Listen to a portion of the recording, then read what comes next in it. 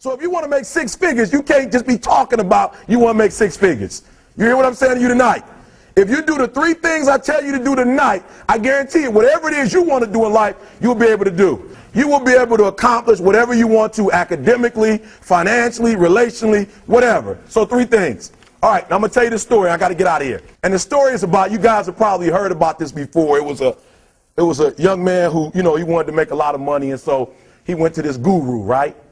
And he told the guru, you know, I want to be on the same level you are. And so the guru said, if you want to be on the same level I'm on, I'll meet you tomorrow at the beach at 4 a.m. He liked the beach. I said, I want to make money. I don't want to swim. Guru said, if you want to make money, I'll meet you tomorrow, 4 a.m. So the young man got there at 4 a.m. He all ready to rock and roll, got on the suit. He should have wore shorts. The old man grabs his hand and said, How bad do you want to be successful? He said, Real bad. He said, Walk on out in the water.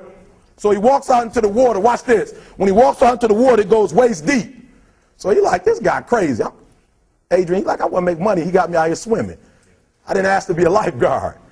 I want to make money. He got me in. So he said, Come out a little further. Walked out a little further. Then he had it right around this area, the shoulder area. So this old man crazy. He making money, but he crazy. Said, come on out a little further. Came out a little further. It was right at his mouth. My man like, I'm about to go back in here. This God is mine.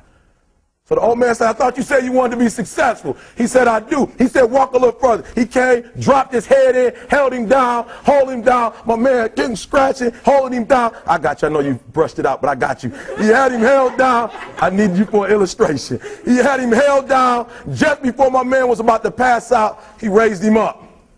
He said, I got a question for you. Somebody answer the question for me. He said, when you were underwater, what did you want to do? Lee, I'm looking for a different word though than lip. What's that word? He said I wanted to breathe. He told the guy, he said, when you want to succeed as bad as you want to breathe, then you'll be successful. I don't know how many y'all got asthma in here today, but if you ever had an asthma attack before, you short of breath, SOB, shortness of breath, you wheezing. The only thing you trying to do is get some air. You don't care about no basketball game. You don't care what's on TV. You don't care about nobody calling you. You don't care about a party. The only thing you care about when you're trying to breathe is to get some fresh air. That's it. And when you get to the point where all you want to do is be successful as bad as you want to breathe, then you'll be successful. And I'm here to tell you, number one, that most of you say you want to be successful, but you don't want it bad. You just kind of want it. You don't want it badder than you want to party. You don't want it as much as you want to be cool. You, most of you don't want success as much as you want to sleep. Some of you love sleep more than you love success. And I'm here to tell you today, if you're going to be successful, you've got to be willing to give up sleep. You got to be willing to work off for three hours of sleep, two hours. If you really want to be successful, some days you're going to have to stay up three days in a row. Because if you go to sleep, you might miss the opportunity to be successful. That's how bad you got to want it. You got to go days without, listen to me, you got to want to be successful so bad that you forget to eat. Beyonce said once she was on the set doing her thing, three days had gone by, she forgot she didn't eat. Because she was engaged. I never forget Uh, when 50 Cent was doing his movie, I did a little research on 50, and 50 said that when he wasn't doing the movie, he was doing the soundtrack. And they said, when do you sleep, 50? Sleep. He said, sleep. Sleep is for those people who are broke. I don't sleep. He said, I got an opportunity to make a dream become a reality. Football players, how many football players? Got anybody like football in here? Raise your hand. Anybody like football? Emmitt Smith. I used to be a Cowboy fan before they did my boy Tom Landry wrong. I used to be a Cowboy fan. And watch this, there was a commercial. Emmitt Smith had won his first Super Bowl, and he had this commercial when he was lifting weights. I don't know if you saw the commercial when he was lifting, and he said, he said, Emmitt said, you know what? Ah, I won the Super Bowl, so I can rest now. He, had, he was doing his bench press. So he said, I won the Super Bowl, so I can rest now. So he throws up about 325, boom, and he rests for about two seconds. Boom, boom, boom. Did you see that? He'd already won a Super Bowl. He said, I think I'm going to take a rest. And he rests for how long? One second. Most of you won't be successful because when you're studying and you get tired, you quit. And I'm here to tell you today, if you got a, somebody came in my office the other day crying. I said, look, don't cry to give up. Cry to keep going. Don't cry to quit. You already in pain. You already hurt. Get a reward from it. Don't go to sleep until you succeed. Listen to me. I'm here to tell you today that you can come here, you can jump up, you can do flips, you can be excited when we give away money. But listen to me, you'll never be successful until I don't have to give you a dime to do what you do. You won't be successful until you say, I don't need that money. Because I got it in here. So listen to me. Emmitt Smith said this at the end of the commercial. Emmitt Smith said, all men are created equal. Some work harder in preseason. I'm going to say it again because you might have missed it. All men are created equal. Some work harder in preseason. So that means that there are some people who are going to see the professor, going to see the TA. And even when the professor says, I don't meet with you, my TA meet with you, you say, I don't want to talk to your TA. That's what it is. I don't pay the TA. I pay you to teach me. So you're going to have to find some time to meet me. If I got to meet you at the mall, if I got to meet you at your house, you are going to see me. Listen to me. All men are created equal. Some work hard in preseason. When I went to college, guys were way smarter than me. 4.0s, 3.0s. They went to the Ivy League high schools, came to Oakwood from these great high schools. Most of them are not doing what I'm doing. Why? Because it's not about where you come from. It's about heart. You come to a place where, you know, being smart ain't enough. You got to have heart. That's number one. Watch number two.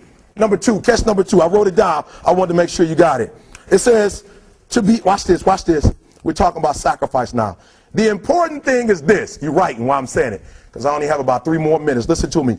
The most important thing is this to be able at any moment to sacrifice what you are for what you will become. That's the number two thing. You got to catch that one. To be able to, listen to me, at any moment. Some of you, you can make sacrifices when Monday Night Football is not on. You can make a sacrifice. But when the game come on, for some reason, you just attach to it. For some of you, when your favorite show come on, you, you, can, be, you can make sacrifices on Sunday when ain't nothing going on. But when your favorite show comes on Monday, bam, some of you, you focus until the phone ring, and then you're like, I gotta answer it. If I don't answer the phone, I'm gonna die. I'm saying to you today that there are some of you, if you give up your cell phone, you would be successful. But your cell phone is more important to you than your success. I'm gonna say it again. I'm gonna hurt somebody. I'm gonna hurt somebody. Some of you need to give up your cell phone because the time you spend on your cell phone could be used for your success. The time you could be using to be successful, you're using it on the cell. And the cell phone is not bringing you nothing but a bill. And somebody has told you you couldn't live without it. I'm talking about going deep now, giving up stuff. Watch what it says. To be able at any moment to sacrifice what we are for what we could be. I don't do well in math. You're right. You ain't never studied. I'm not good in writing because you have never written before. But I dare you to fail in writing for a whole year to see if you can get to the end. I dare you to fail. I dare you to take that same class over and over again. I, I dare you to stop dropping classes like you soft. Always want to give up. I'm dropping. Why are you dropping? I'm so grateful that the slaves didn't drop and quit. Say, I'm just going to stop. I'm a slave. I'm just going to be a slave. I'm going to quit. Listen to me. The slaves said, we will live because one day we will become. We won't always be slaves. So today, although we're slaves, we're going to act like we're free, and one day our children will be free. If the slaves would have just said, we quit, we give up, we would have died in the middle passage.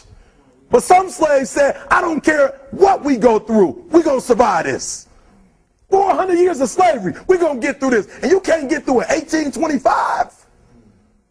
You can't get through a writing class and you got tutor after tutor, resource after resource. The problem is you ain't never felt no pain before. You're soft. It's a soft generation. You quit on everything. Our people did not quit. Harriet Tubman not only made it, she went back and got some more. She said, you know what? I made it, but I'm, I'm going to walk all. Listen to me. Shh. not ride the bus. I'm going to walk all the way back down to the south to get some more. And you quitting on 1825? Now watch this. You quit after you, listen to me, you get a sleeping bag and you wait for them. You wait for the first WRA instructor to come in and you come out your sleeping bag, I need help. You quit after you do that. You quit after you had, listen to me, a, a WRA party. I'm, I'm, having a party. Everybody come over. I got food, everything. And let them get over there. Let it be all the best writers. All right, I food y'all. I want to have a writing party.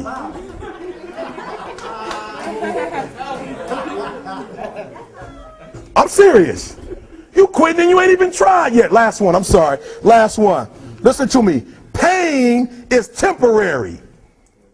It may last for a minute or an hour or a day or even a year. But eventually it will subside. And something else will take its place. If I quit, however, it will last forever. Listen to me, I'm telling you as I leave. I'm telling you as I leave, I was homeless for two and a half years. And the problem with most of you, you never felt no pain before. Y'all spoiled. Y'all spoiled. Some of y'all spoiled. Just bottom line. Your parents have done everything for you. You never had to do nothing for yourself. You're spoiled. We're going to keep it real tonight. Some of you are spoiled brats. Every time you ever got in trouble, somebody in your house got you out of it. Every time you've done something you're not supposed to do, people say, Eric, your mother's a tyrant. You're right. She kicked me out. You're right. She's mean, but she developed a man because she put me out there and said, you're going to have to grow up. And some of you have never learned to grow up. And so every time something get hard, you quit, you call mama. I dare you to take a little pain.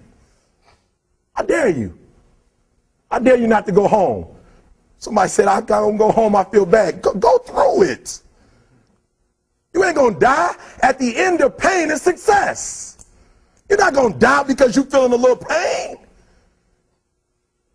I'm not eating like I eat at home. That's why you're about to go to the next level. Because if you keep eating like you ate at home, you'll keep being a boy or a girl. It's time to become man, woman. So don't, don't worry about a little pain. My greatest asset is I was homeless. So I can't feel a whole lot of pain. I've already been alone. It's not a whole lot. Of, it's not, not a whole lot of hurt I can feel on a little paper, on a little test. So I leave you. I leave you. Listen to me. We have gotten to a point where it's midterms and we're moving forward. The days of you getting money, I'm not saying we quitting, but I'm saying the day has got to go from external to internal. You have to give it everything you got. No more TV, no more parties, no more playing. If you don't have a 4.0, what you need to be doing is studying. Get off the phone. I, I, I'm sorry, I'm not available until the end of this year. No, I'm for real. You reached the right number, but you called me at the wrong time. Call me back January 1st. I'm about to get busy now. Huh? I want you to have a countdown of your own and say when the countdown is over, we're the real, shh, watch me. Because when I was homeless, I knew something was wrong. I knew that wasn't the best of me. And one day I said, will the real Eric Thomas please stand up? Will the real Eric Thomas please stand up? Stop being this high school dropout. Stop giving up. Stop sleeping on the street. Stop walking up and down Fenkell Avenue like you ain't got nothing and get your GED. Stop being afraid to take a test. Stop being afraid to go to college because your daddy didn't go and your mama didn't go. Stop being afraid and be the best Eric Thomas you can be. But listen to me, it's going to be hard. It took me 12 years to get a four-year degree, but I got it. And guess what? On a degree, it don't have dates. So if it took you four and it took me 12, it don't show up nowhere.